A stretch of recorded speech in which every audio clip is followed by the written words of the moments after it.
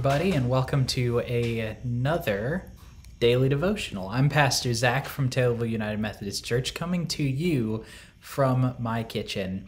Uh, thank you so much for being here today with us. It's uh, it's a great thing that we can still gather together around a common purpose, a common cause, even when we have to be separate. So whether you're with us on Facebook or YouTube or Instagram, thanks for being here. It really uh, is a blessing to me to know that we are uh, able to go through Scripture together, even in such a strange time. Also, happy May. It is Friday, it is May 1st. We are uh, still moving along in the year. It's hard to believe that it's already May, but when you go outside, it's starting to feel a little bit like summer, and uh, that's, that's something I think we can be excited about. So, we are walking through the book of Philippians. We are looking at this letter that Paul wrote from prison and seeing what he had to say, knowing that this was possibly one of the final things he would write. Seeing what he had to say in that circumstance to one of the more important churches in the world, the first church in Europe, and that is the church at Philippi. And so, starting in chapter 3, he says this Not that I have already obtained all of this, that is, uh, just to look back at, at, yesterday, Paul was talking about uh, taking on the mind of Christ, adopting a sort of demeanor of Christ. And so he says this Not that I have already obtained all this, or have already arrived at my goal, but I press on to take hold of that for which Christ Jesus took hold of me. Brothers and sisters, I do not consider myself yet to have taken hold of it, but one thing I do, forgetting what is behind and straining towards what is ahead. I press on toward the goal to win the prize for which God has called me heavenward in Christ Jesus. That is the Word of God for us, the people of God. So, one thing that we know about books and movies is that there are good books and good movies, and then there are bad ones. I'm uh, a bit of a film buff myself. I've seen way more movies than I really probably should have. And I do have a degree in English literature, so I've also read more books than many people probably would think that I should have. And so I can say with full confidence that there are a couple of things that make a story particularly good and particularly well told. And one of those things is that it has a consistent trajectory from start to finish. Now, what I mean by that is that a good book or a good movie builds rather than contradicts. When a story has this sharp turn somewhere within it in, in terms of tone, uh, when it suddenly goes in a totally different direction, it throws us off it catches us off guard. It undermines the whole experience and it just makes it kind of hard to follow. It builds uh, on itself when it's written well. It amplifies the meaning rather than contradicting it. There's this trope called Chekhov's gun, which is uh, the simple statement that in the first act of something, if there is a gun hanging over the mantle, then in the last act, it better go off. And of course, this isn't really about a tool that comes up in the beginning of something being used in the end or anything like that. What it's saying is that nothing should be unnecessary. That everything that happens in this story happens for a reason. And that reason builds towards the conclusion. The same thing is true for our lives. When we have major shifts when we suddenly turn around, when we are dragged this way and that by things that happen to us, it, sh- it, it just throws us off. It disorients us and it catches us off guard. And as we are looking towards the future, as we're trying to see where we're going to go, the relationship that we have with our past, with Act 1 or 2 or five or whatever, with the earlier parts of our lives, that relationship can either hold us back, it can keep us looking backwards, or it can push us forwards.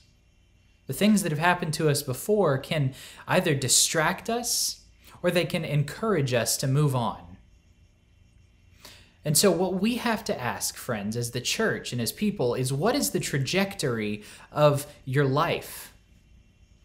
Where is all of this leading? Paul says this as he's standing in prison, as he is writing from the place where he could possibly die. He says, I don't think that I have claimed the prize yet, but here's what I know. Here's what I do think that I can forget what's behind. I can forget the things that have happened to me. I can leave those in the past and I can strive towards what's yet to come because that is the goal. Because that is what I'm working towards. Because that's where the prize can be found. Friends, what is the trajectory of your life?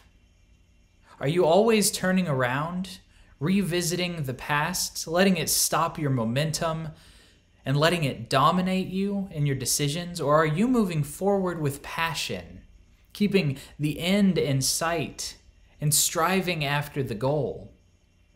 If you want to do that, you have to know what the goal is that you're working towards.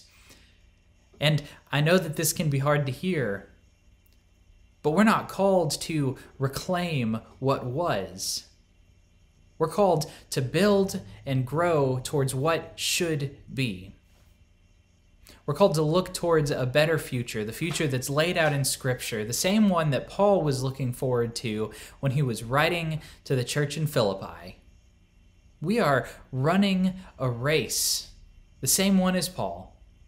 We're striving after the prize that is Jesus Christ. Friends, we can know where our trajectory should take us, and it should be towards Jesus. It should be heavenward. So every moment of our lives should move in that same direction. We should strive without failing, without ceasing, and without slowing. And if a time comes when we do stumble for a moment, don't let that hold you back because the prize has not changed.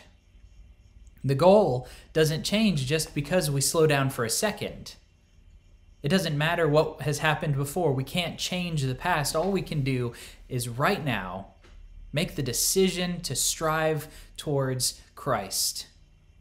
For Paul, that meant continuing to preach the gospel even while he was in prison, even as the guards mocked him.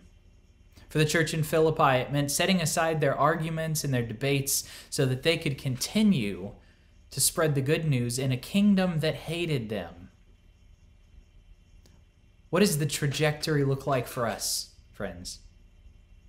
Well, I think it looks a lot like it did for these Christians in the first century. It looks like sharing the good news it looks like having joy in difficult times. It looks like not letting our circumstances get the best of us and instead staying focused on God. Instead, keeping our eyes fixed on Him and fixed on heaven so that we know where we're going. That is, after all, the good news is that we can have that blessed assurance. Let's pray together. Gracious God, I thank you for the gift of today. I thank you for the guidance that you've given us through Scripture and through your presence in our lives.